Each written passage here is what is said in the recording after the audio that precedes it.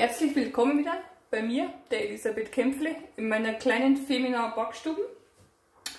Heute zeige ich euch endlich mal, wie ein Mürbteig geht. Das heißt, wie man am besten zwischen zwei Folien ausrollt. Und dazu habe ich mein absolutes Lieblingsrezept rausgesucht. Ich bin ganz stolz. Ich habe da nämlich ähm, an einem Rezeptwettbewerb teilgenommen in Weilheim und mit meinem Pflaumenkuchen doppelt gebacken habe den zweiten Preis gemacht, den zweiten Platz.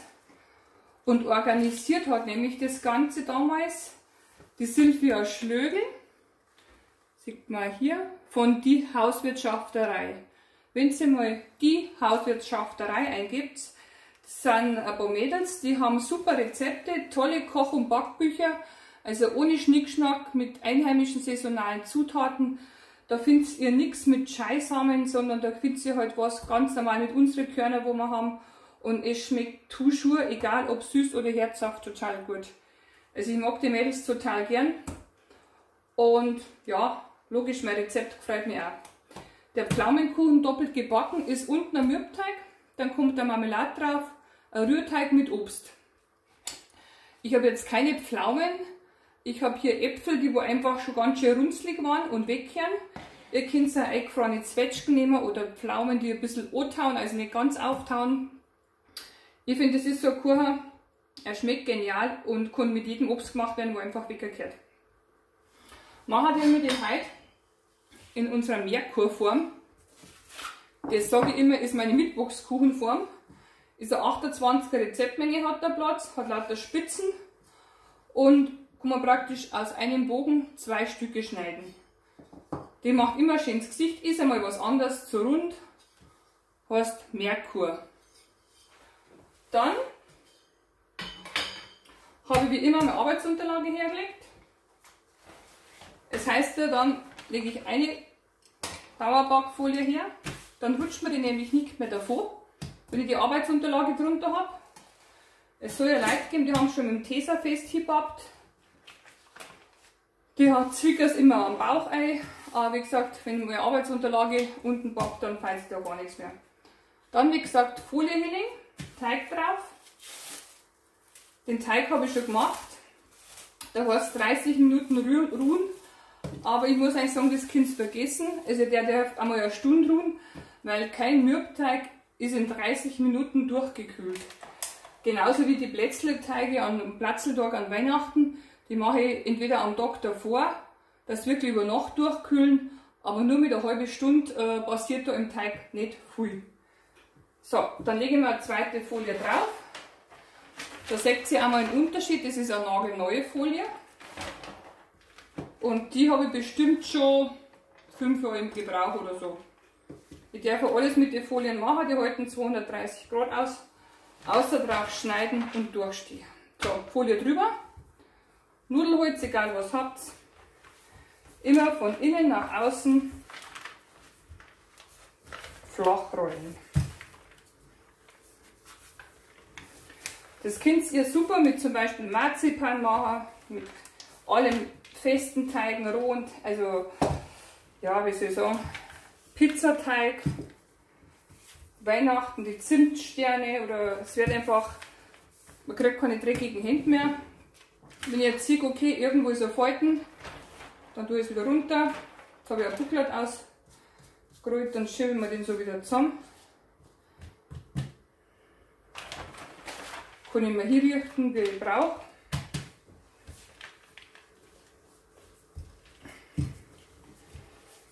Und wie gesagt, wenn ich merke, jetzt ist irgendwo ein Falten drin, runterziehen, wieder drauf, beide Folien in die Hand nehmen, umdrehen weitermachen. Der ist jetzt nicht ganz, äh, wie soll ich sagen, nicht so dick. Das ist ja nur ein Mürbteig für den Boden.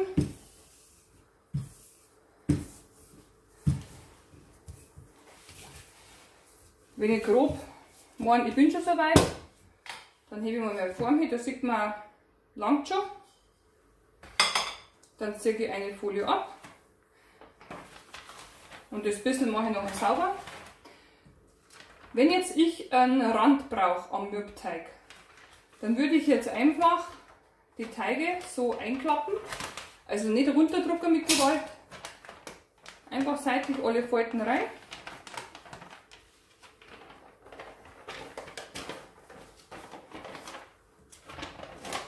Zack, da. Mache ich bei der runden Form genauso, egal. Dann die Form außenrum. Und dann klappe den Teig wieder raus. Ich kann an die Form hinschneiden. Ich brauche die Form nicht mehr einfetten. Aber wie gesagt, da brauche ich jetzt eigentlich gar keinen, bei dem Rezept brauche ich jetzt keinen Rand. Aber ich wollte euch das unbedingt mal sagen, dass ihr wisst, was ich da meine. Dann werde ich mir halt einfach meinen Rand machen. Dann kann ich mit dem Messer am Rand entlang rumschneiden. Wenn ich sage, jetzt ist er ungleichmäßig, geht alles. So Folie muss ich nur sagen, die ist auch geschmacksneutral. Da habe ich gestern einen Spargel gemacht. Die wische ich ganz normal ab, trockne es noch lass auslüften und ramm's dann weg. Genauso wie die Formen.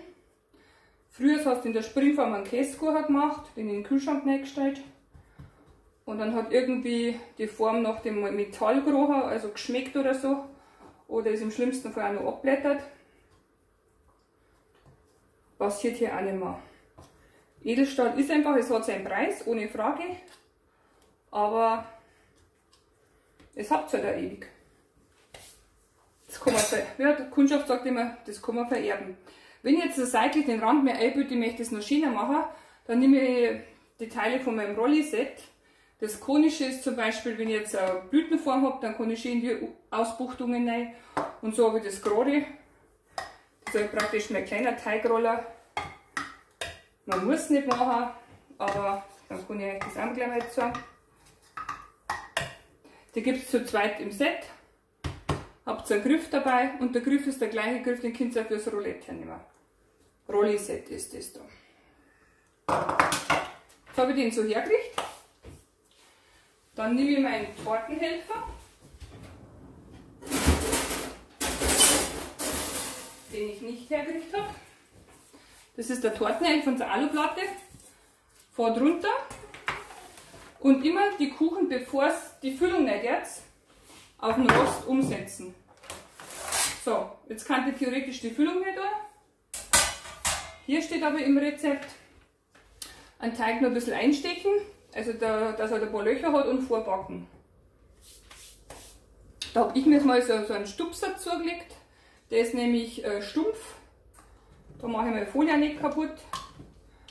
Und weil ich ja doch das Öfteren back, der kostet jetzt nicht weit, den habe ich irgendwo im Internet bestellt. Genau. Schaut der Teig so aus. Den tue ich jetzt wie im Rezept für 7 Minuten in den Ofen. In der Zeit mache ich den Rührteig für oben drauf. Weil wenn man raus, rausnimmt, dann kommt da Marmelade drauf. Da habe ich jetzt so eine Aprikosenmischung, wann ist das ein Restel. Hergerichtet wird drauf gestrichen. Dann kommt der Rührteig drauf und Obst und ein paar Mandelblättchen. In die Mandelblättchen mischt man wieder ein bisschen was vom Bernsteingold, dann werden die so richtig karamellig und schmecke einfach gut. Bis gleich. Der Boden ist jetzt gerade fertig vom Vorbacken her, das waren jetzt so 7-8 Minuten. Dann tue ich da gleich meine Marmelade drauf. Ihr müsst halt nur schauen, dass die Kombination ein bisschen zusammenpasst und dass die ganze Geschichte nicht zu süß wird. Jetzt muss ich bloß da nehmen, weil natürlich alles ein bisschen heiß ist. Ich habe mir jetzt nur auf ein Auskühlgitter Marmelade habe ich diesmal nicht püriert. Aber das ist jetzt auch keine Tragik. Verstreiche ich wieder mit dem Liftball spitz. Das ist einfach mein Werkzeug. Immer das gleiche. Sag immer einmal gescheit angerichtet. Und dann hat man es. Weil das schmeiße ich jetzt seit 25 Jahren in die Spülmaschine, nehme es wieder her und es hält das wunderbar aus. Gut, dann haben wir das schon mal. Der Teig Schaber heißt Hermelin M, das ist der elastische, den gibt es auch in fest, also ganz starr. In unserem Schlagkessel mit 3 Liter habe ich jetzt den Teig schnell gemacht. Ich möchte euch immer gerne sagen, dass man also kein riesen Küchengerät braucht. Da komme ich mit dem Handrührgerät rein und das Schüssel ist auch gleich gewaschen. habe natürlich auch einen Thermomix, weil den brauche ich dann für Haselnuss zerkleinern. Den brauche ich dann wieder für andere Sachen. Aber für so Teigmengen langt der Schlagkessel da. Das habe ich auch noch nicht erwähnt, den gibt es in verschiedenen Farben. In dem Blau, dann gibt es noch in Grün und ja, ich sag in Krachengelb, sage ich mal. Ist auch ein Geschenk für die Mama. Habe ich schon mitbekommen. Die finden das gut, wenn man einer mal was Gescheites schenkt. So, jetzt werden wir den Teig verstreichen. Das muss auch nicht perfekt sein. Jetzt ist natürlich der Boden warm, das Marmelade wird warm. Das sieht nachher kein Mensch mehr. Mit der Spitze von dem Liftball kann man schön die Spitzen von der Merkurform, meiner Mittwochskuchenform, aber da wirkt einfach alles gleich anders. Da könnt ihr gerne so herzhafte Kuchen machen, mit Gitter machen wir jetzt einmal so Maultaschenkuchen oder sowas. Der schaut da drin auch ganz bärig aus dann die Gäste dann überrascht, wenn man hinstellt oder die Familie. Macht das gleich was her. Dann werden jetzt die Äpfel drauf. Da wird es zu viel gemacht wahrscheinlich, aber bei uns ist es so, ich lasse die Äpfel einfach stehen und auf einmal haben sie weg. Und Obst essen, glaube ich, hat noch nicht so wirklich geschaut.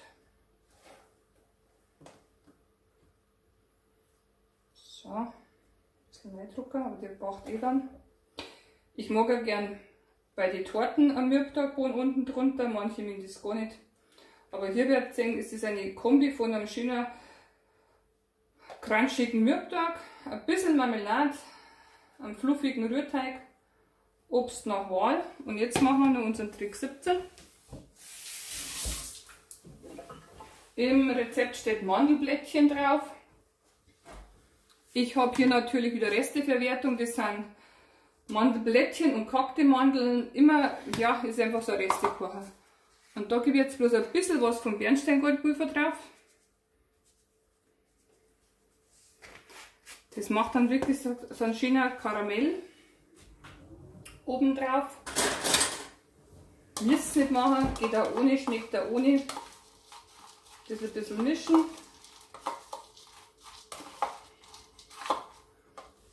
Und drüber. Der Ofen bleibt weiterhin an. Ich habe mir auch was rausgenommen. Und wie gesagt, ihr könnt Obst hernehmen, wenn ihr Dosen überhaupt, einfach sowas. Ich denke, mit Birnen habe ich noch nicht ausprobiert, ansonsten Kirschen, Zwetschgen, Pflaumen, alles was einfach weg muss. Da darf ich mir jetzt nicht brennen, wenn ich euch sage.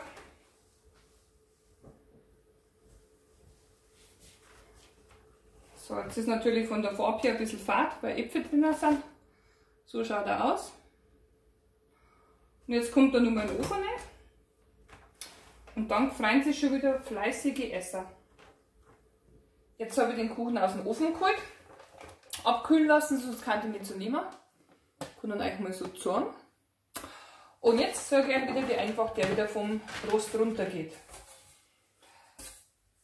Unseren Tortenhelfer nehmen zwischen Rost und Folie rein. Und das, was ihr gebacken habt, rüberziehen.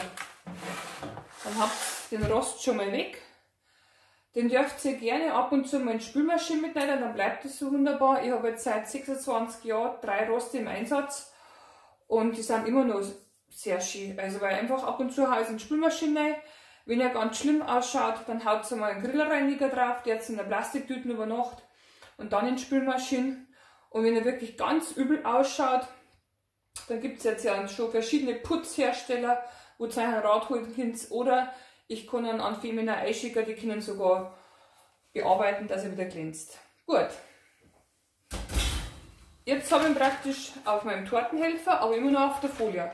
Und auf der Folie soll er nicht schneiden. Also, wie immer, darum ist die Folie auch so groß. Ich sage es ja immer wieder, nicht irgendwo auf der Dude oder auf, dem, auf der Messe irgendwo Dauerbackfolien kaufen, wo man sagt, mei, die sind ja viel billiger wie die von Femina. Die sind aber wahrscheinlich auch viel kleiner. Denn hier haben wir diesen also Platz, dass wir es umknicken können. Nach vorne, unten umknicken. Und unter dem Backgut dann zu einem Herzchen. Dann ist der Kuchen, der rutscht mir jetzt nur weg, auf der Platte. Und das ist alles, was mir auf der Folie bleibt. Dann nehme ich nachher wieder meinen Spüllappen mit ein bisschen Spülmittel, wische das weg, mit dem Geschirr durchtrocknen nach, trocknen lassen, locker zusammenschlagen und dann aufräumen. Ich habe mir jetzt äh, auf meinen normalen Tortenhelfer, wenn ich sage, ich möchte jetzt in einen Kuchenbehälter rein, gibt es ja so tolle, wo jeder Haushalt hat. Das schimpft aber immer, weil man die ganzen Schnitte auf dem Kuchenbehälter sieht. Dann gibt es unsere UFO-Tortenplatte. Das ist auch eine Aluplatte mit Durchmesser 28, passt genau rein. Und da könnt ihr drauf schneiden. Da sieht man die Schnitte, das ist gewollt, das geht nicht anders, aber ihr schont den Kunststoff von unten. Das ist ein Tipp. Das ist das UFO mit 28 cm, kostet glaube ich 8 oder 9 Euro, also ist nicht die Welt. Und das ist so ein normaler Tortenhelfer mit 32 cm. Jetzt tue ich nur noch vom Rand weg, dann nehmen wir wieder unser Spitzbubmesser wo er 10 cm lange Klinge hat, damit ich bei den großen Formen bis unten an den Rand komme. Setze an und schneide richtig in den Rand rein. Ich darf auch bei den Formen schneiden. Das könnt ihr mit der Emailleform jetzt auch nicht wirklich. Und richtig am Rand entlang fahren. Diese schöne Form, das ist der Merkur. Ich habe schon gesagt, das ist meine Mittwochskuchenform, aber da wirkt einfach alles gleich ganz anders.